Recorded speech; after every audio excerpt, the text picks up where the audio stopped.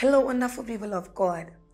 So, we come your way this month with exciting news from the camp of our man of God, Dr. Abel Damina, as he shares insights with us on the knowledge of the scriptures concerning the character of God in salvation.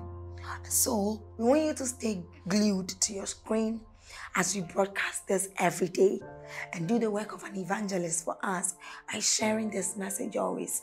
Also, like this message and then comment whatever you learn in the comment section. Thank you. And if you're new here, please don't leave without hitting on that subscribe button and that notification bell. Thank you.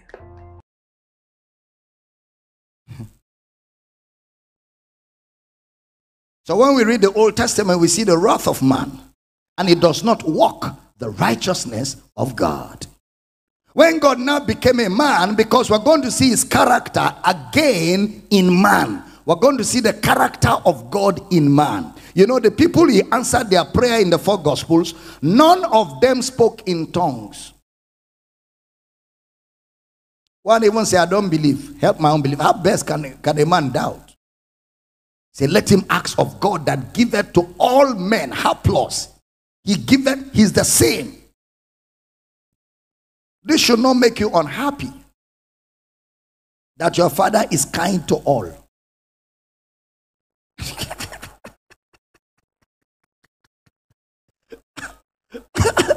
if you're unhappy that your father is kind to all, that's a rot of man, which does not work.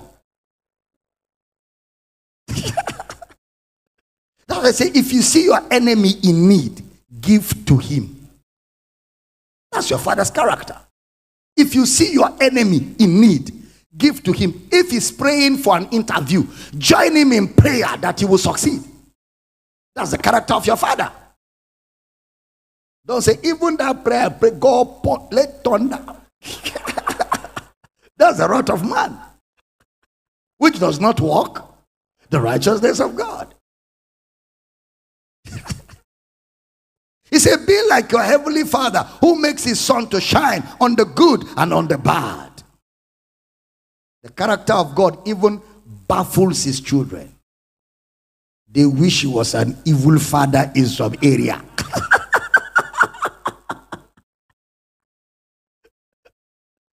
it baffles his children. They would have wished at least the father should have some small way of don't you know if he does chung at all, you to one time you will collect? You will collect. Have you know collect?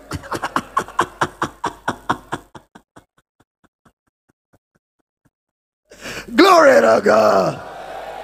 But my father is kind to all. Is that your father?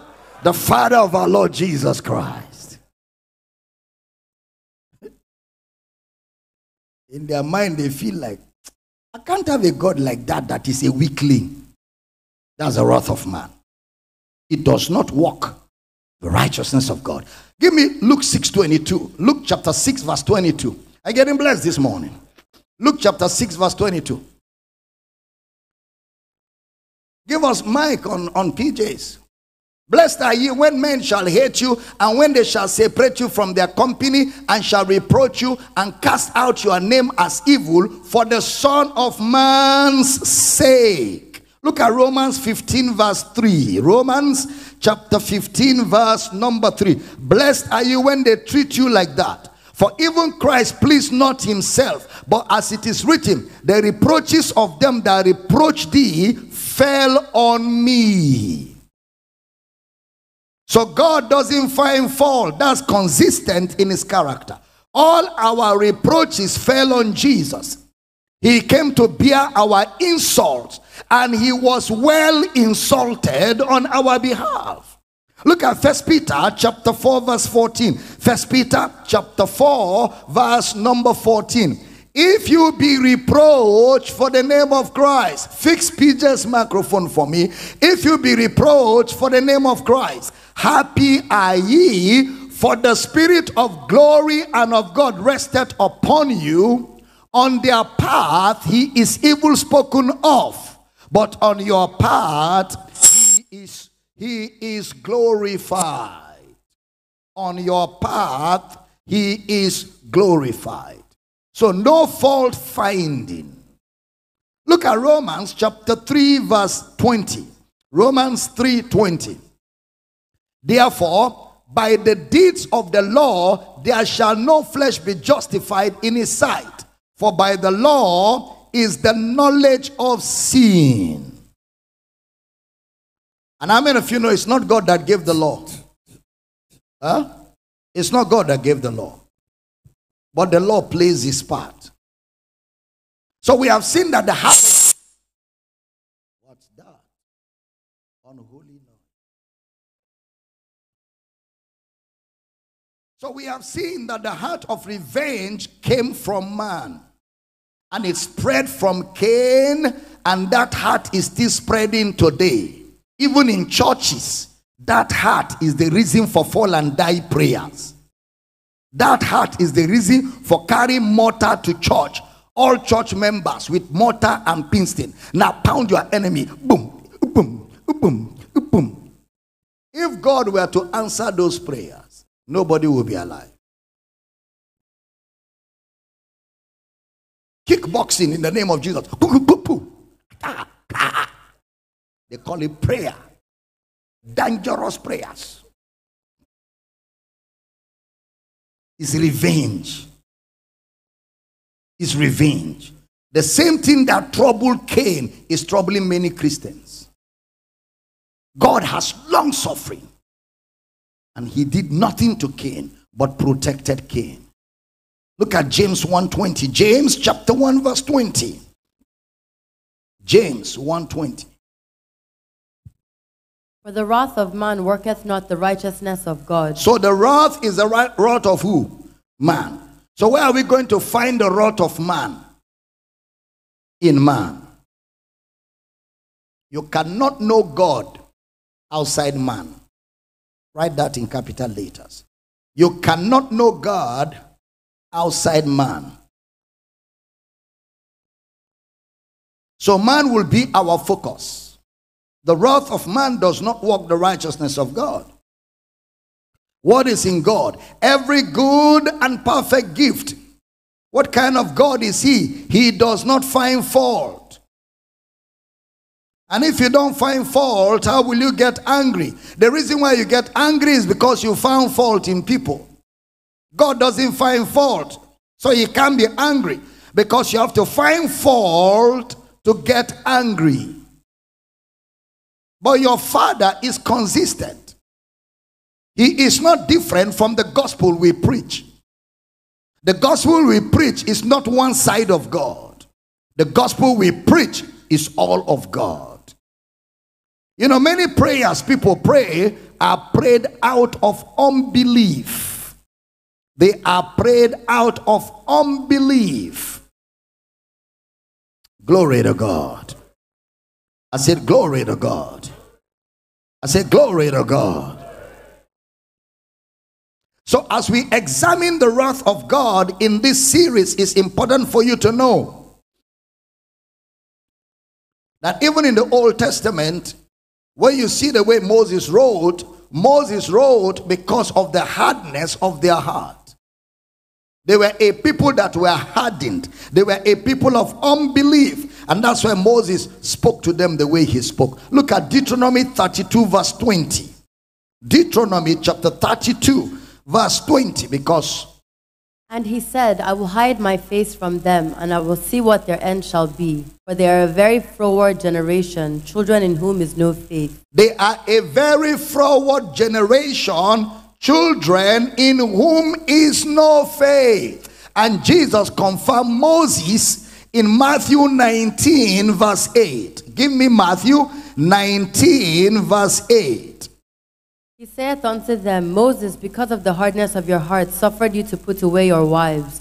But from the beginning it was not so. But from the beginning it was not so because of the hardness, in view of the hardness of your hearts. So when Moses wrote Genesis, he didn't write it to you and I. Because we don't have such dullness. He had to write it that way because of the kind of audience he was writing to. Then we also have the teaching ministry of the prophets. we have the teaching ministry of the prophets, who, in the midst of their vengeance and their anger, still spoke the good news. The prophets, Old Testament prophets, in the midst of their anger and vengeance, you will see good news spoken. Then again, we have, you know, Jesus who taught by parables. Why did he teach by parable? Because the people were limited. God in the flesh said, I have many things to say to you, but you cannot bear them now. But how be it when he, the spirit of truth, is come, he will guide you into all the truth. So if his men cannot bear them, how much more these guys that were in Kadesh Barnea for 40 years?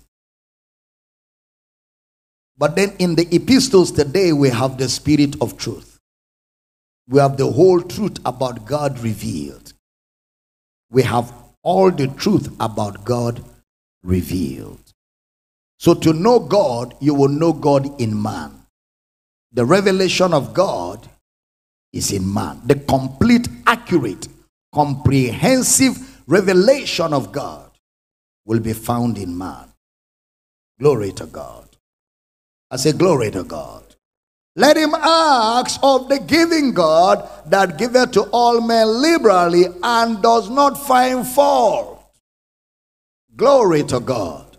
God doesn't find fault. So this morning, you are sure that every prayer you are praying, your answers are already released. Amen.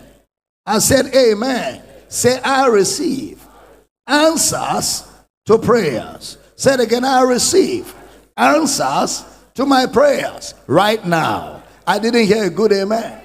Say, I receive answers to prayers right now.